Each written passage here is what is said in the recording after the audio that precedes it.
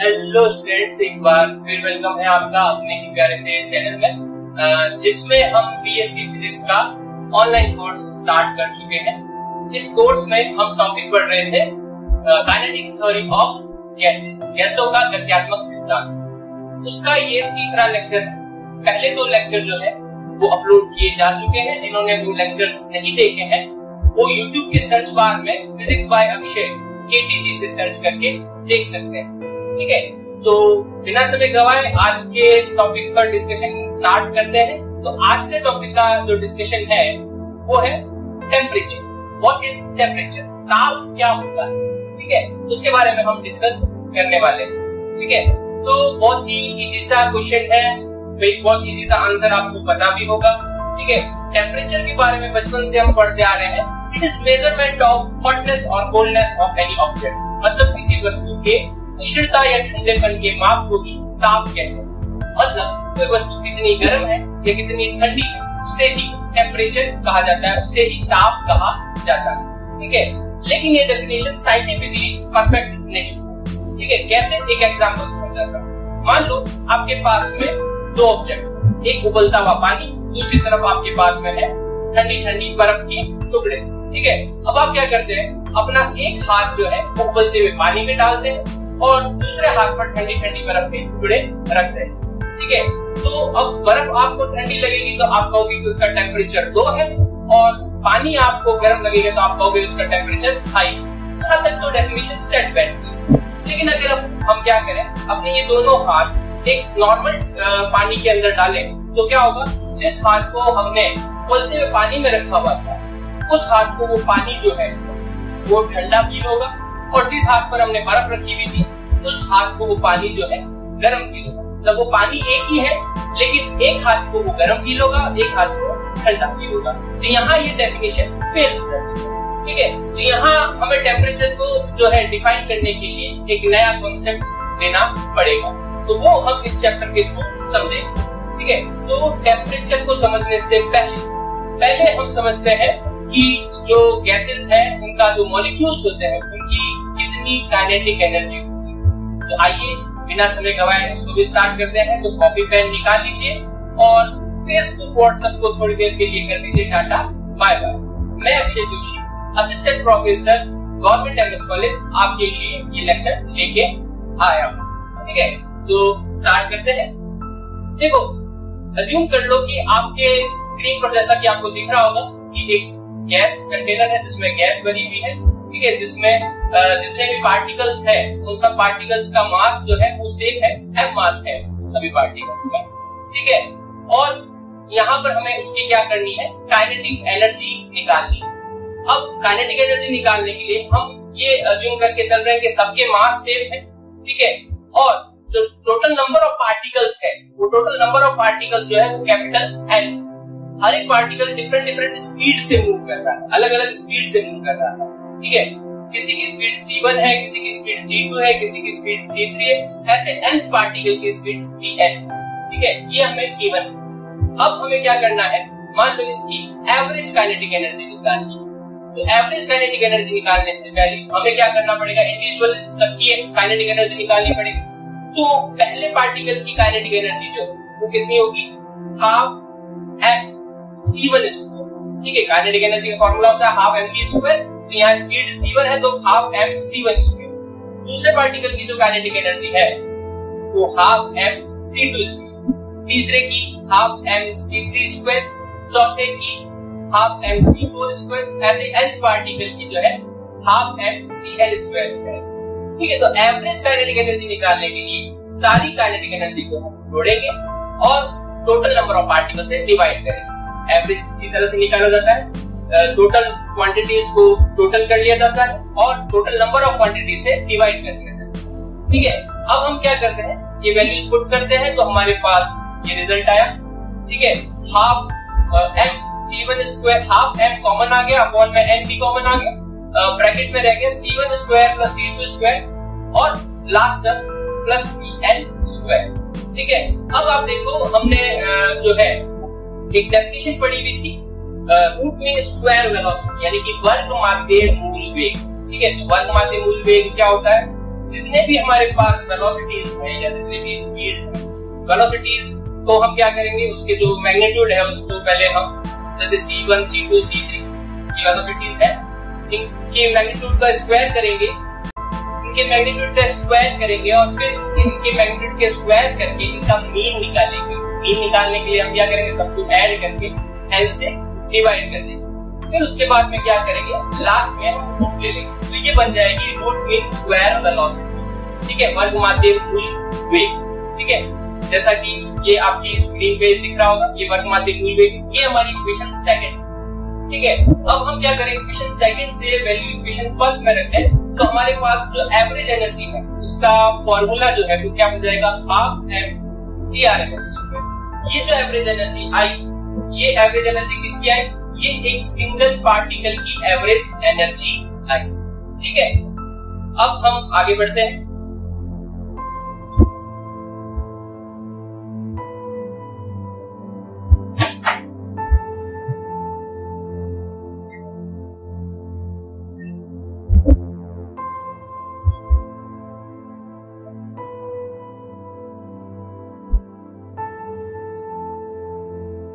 Gas में total N particle है। पूरे गैस की जो एनर्जी होगी, वो कितनी हो जाएगी? एक सिंगल पार्टिकल की एनर्जी को हम एन से मल्टीप्लाई कर देंगे। ठीक है तो वो पूरे गैस की एनर्जी हो जाएगी। एक सिंगल पार्टिकल का मास है एम और उसके मल्टीप्लाई में आ रहा है एन ठीक है? एम इंटू एन क्या हो जाएगा? टोटल गैस का मास हो जाएगा। ठीक है? तो इस तरह से पूरी गैस की जो एनर्जी है, वो कितनी हो जाएगी? Half capital M C R M S square ये आ गई पूरे गैस की काइनेटिक एनर्जी अब अगर हमें एक मोल गैस की एनर्जी निकालनी है तो एक मोल गैस की डेफिनेशन क्या आती है? एक मोल का मतलब क्या होता है? जब भी हम किसी मटेरियल को, उसके मोलिकुलर वेट को, उसके ग्राम में, या उसके एटॉमिक वेट को ग्राम में रिप्रेजेंट करते हैं तो उसे हम वन मोल गैस कहते हैं, या वन मोल मटेरियल कहते हैं। ठीक है तो एक मोल का मतलब हो गया जब मास मोलिकुलर मास के या मोलिकुलर वेट के बराबर होगा इन ग्राम्स तो उसको हम वन मोल कहेंगे। वो वैल्यू अगर हम रिप्लेस करते हैं एम को एम नॉट से, जहाँ एम नॉट उसका मोलिकुलर वेट है तो हमारे पास गैस की काइनेटिक एनर्जी आ जाएगी half M naught C R M S ठीक है? इस तरह से अगर हम समराइज करें तो हमारे पास तीन तरह की काइनेटिक एनर्जी आई। एक सिंगल पार्टिकल की energy half small M C R M S square एक जो है, पूरी गैस की energy kinetic energy half capital M C R M S square और एक मोल गैस की काइनेटिक एनर्जी जिसकी वैल्यू आ गई half M naught C R M S square ठीक है? तो ये हमारे पास वैल्यूज़ आई काइनेटिक एनर्जी ठीक है? अब इसके बेसिस पे हम टेम्परेचर को समझने की कोशिश करते हैं। ठीक है? अब फिजिक्स वाले क्या करते हैं? एक छोटी सी डेफिनेशन के लिए भी एक बड़ा सा डेरिवेशन कर देते हैं। तो अब हम समझने की कोशिश करते हैं temperature on the basis of kinetic energy तो नेक्स्ट स्लाइड आप डाल लीजिए। अब टेम्परेचर को समझते हैं। देखो, आपको पता है कि जो भी एक आइडियल गैस एक कंटेनर में भरी होती है, वो उस कंटेनर में कितना प्रेशर लगाती है? T equals to one by three rho C R M S square ठीक है? रो क्या है यहाँ पर गैस की डेंसिटी अब गैस की डेंसिटी कैसे निकालते हैं? डेंसिटी का फॉर्मूला होता है मास अपॉन वॉल्यूम ठीक है? तो डेंसिटी की जगह पर हमने कर दिया मास अपॉन वॉल्यूम अब वॉल्यूम का टर्म जो है दूसरी तरफ़ लेके जाए। तो पीवी बराबर में आ जाएगा। One by three M C R M S square M gas का टोटल मास है। ठीक है? अब अगर हम यहाँ एक मोल गैस की बात करें तो एम की जगह पर आ जाएगा एम नॉट तो पीवी बराबर में आ जाएगा one by three M naught C R M S square ठीक है? लेकिन आइडियल गैस इक्वेशन से हमें पता है कि पीवी जो है वो एनआरटी के बराबर में होता है। आदर्श गैस समीकरण ये आपने पढ़ रखा होगा कई बार। पीवी बराबर में एनआरटी जहाँ स्मॉल एन जो है, वो नंबर ऑफ़ मोल्स होते हैं गैस के अंदर। यहाँ पर हम नंबर ऑफ़ मोल्स जो है वो अगर वन ले रहे हैं। ठीक है तो पीवी बराबर में क्या हो जाएगा? आर टी हो जाएगा। तो हमारे पास इक्वेशन क्या बनेगी? R T equals to one by three M naught C R M S square ठीक है, अब इस इक्वेशन को आगे सॉल्व करेंगे तो टी बराबर में आ जाएगा one by three R M naught C R M S square अब इसको टू से मल्टीप्लाई और टू से डिवाइड करते हैं और इसको अरेंज करते हैं। तो ये बन जाएगा two by three half M naught C R M S square तो टेम्परेचर जो है वो two by three R half M naught C R M S square आ रहा है। Half M naught C R M S square क्या है? Gas की एक मोल गैस की काइनेटिक एनर्जी ठीक है? तो उसको हम रिप्लेस कर देंगे ई मोल से। तो हमारे पास टेम्परेचर जो है वो हो जाएगा two by three R multiply में ई हो तो यहाँ से इस इक्वेशन के बेसिस पर हम कह सकते हैं कि टेम्परेचर जो है वो गैस की वन मोल काइनेटिक एनर्जी के डायरेक्टली प्रोपोर्शनल टेम्परेचर क्या होता है? गैस की एक मोल गैस की जो काइनेटिक काइनेटिक एनर्जी होती है, उसी को हम टेम्परेचर कहते हैं. ठीक है?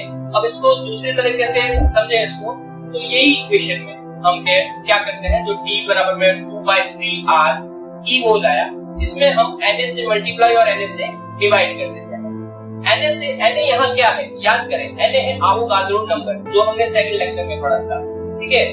आवोगाद्रो नंबर का मतलब इस की वैल्यू कितनी होती है? Six point zero two three into ten is power twenty three छह पॉइंट ज़ीरो दो तीन इंटू दस की पावर तेईस। ठीक है? तो इसको हमने मल्टीप्लाई किया, इसी से हमने डिवाइड किया। तो R upon N A R यहाँ गैस कांस्टेंट है एन ए जो है आवोगाद्रो नंबर है, दोनों ही कांस्टेंट है। कांस्टेंट से कांस्टेंट को डिवाइड करेंगे तो हमारे पास एक दूसरा कांस्टेंट आएगा, जिसे के से डिनोट करेंगे। ये के क्या है? बोल्ट्जमैन कांस्टेंट इसकी वैल्यू क्या आ जाएगी? 1.38 into 10 raised to power minus 23 ठीक है, ये के आ जाएगा Boltzmann constant R upon N की जगह पर हम लिख सकते हैं के और यहाँ एम नॉट जो है एक मोल गैस का मास है और एन क्या है? नंबर ऑफ़ मॉलिक्यूल्स तो एन मॉलिक्यूल्स का मास है एम नॉट एक सिंगल मॉलिक्यूल का मास जो है, वो कितना हो जाएगा? M naught upon N A M naught upon N जो है, वो एक सिंगल मॉलिक्यूल के मास को रिप्रेजेंट करेगा और वो किसके बराबर में हो जाएगा? स्मॉल एन के बराबर तो इस तरह से हमारे पास जो इक्वेशन है। वो इक्वेशन जो है, वो क्या बन जाएगी? इक्वेशन आ जाएगी टी बराबर में टू बाई थ्री अपॉन में ये के और इनटू में यहाँ पर आ जाएगी एक मोल गैस की एक पार्टिकल की काइनेटिक एनर्जी तो इस तरह से हम डिफाइन कर सकते हैं कि टेम्परेचर जो है, वो एक पार्टिकल की एवरेज काइनेटिक एनर्जी के भी प्रोपोर्शनल होता है। तो टेम्परेचर को हमने दो तरीके से डिफाइन किया, एक मूल गैस की एनर्जी या एक पार्टिकल की एवरेज काइनेटिक एनर्जी तो ओवरऑल हम कह सकते हैं टेम्परेचर जो है, वो मॉलिक्यूल्स की एवरेज काइनेटिक एनर्जी के को ही रिप्रेजेंट करता है। ठीक है?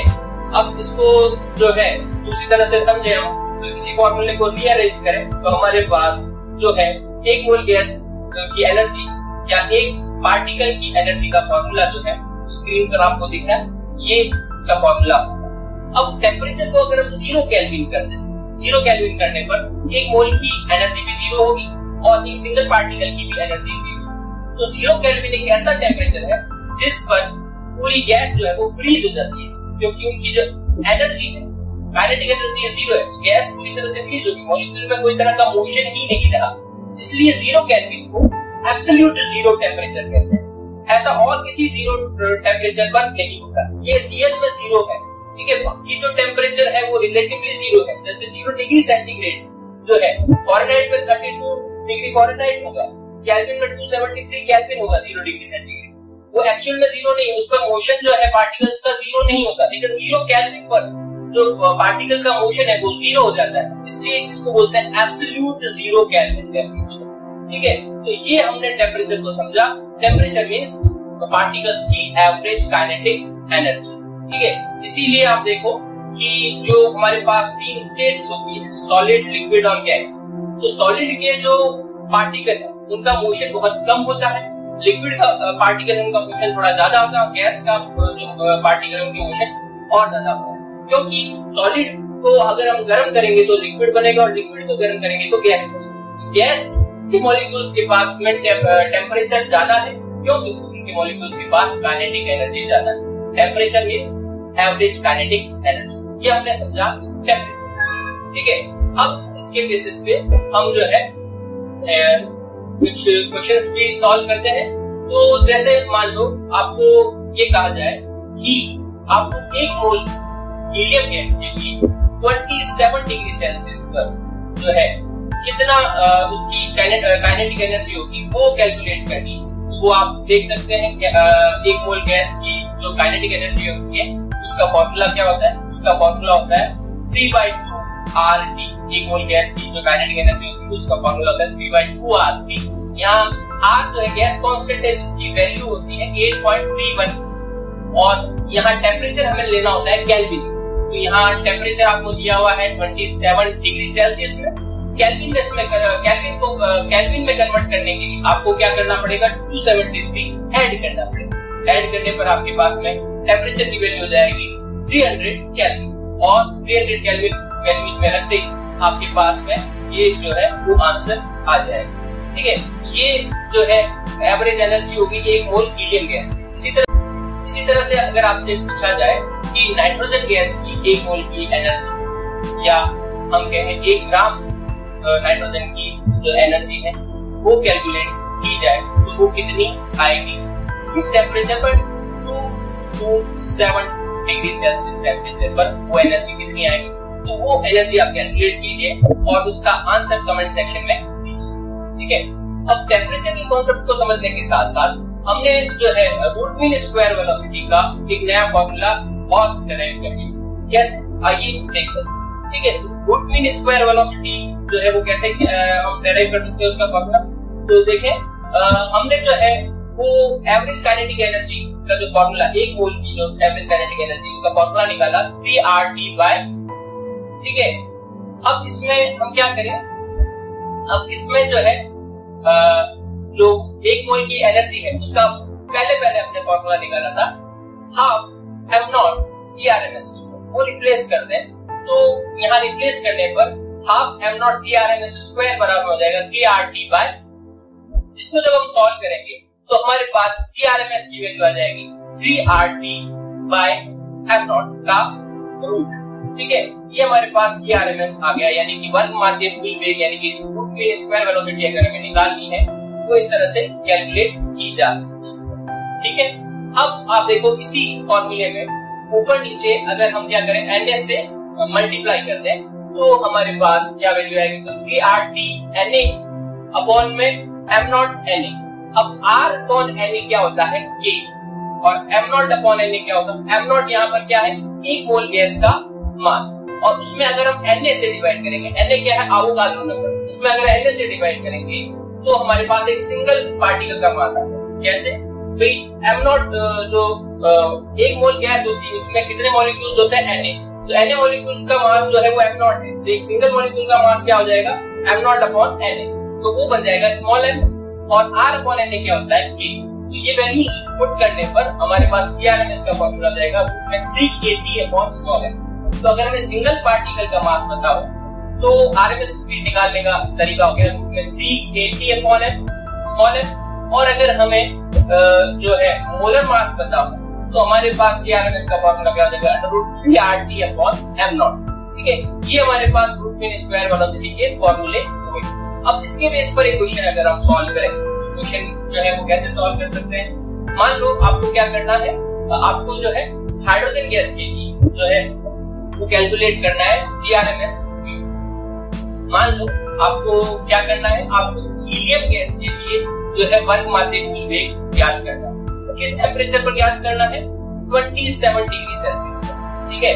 तो हीलियम गैस के लिए अगर आपको सीआरएमएस निकालना है तो आप जो है फॉर्मूला यूज़ करते हैं रूट में three R T upon M not तो हीलियम का जो मास होता है मोलर मास होता है, यानी कि मॉलिकुलर वेट जो होता है, वो फोर ग्राम होता है। तो ग्राम किलोग्राम में कन्वर्ट करने के लिए फोर अपॉन में थाउज़ेंड करना पड़ेगा। और आर की value eight point three one four और टेम्परेचर जो है ट्वेंटी सेवन डिग्री सेल्सियस है। इसको कैल्विन में कन्वर्ट करने के लिए टू सेवेंटी थ्री एड करते हैं। तो ये बन जाता है थ्री हंड्रेड ये वैल्यू पुट करते हैं, इसको सॉल्व करते हैं।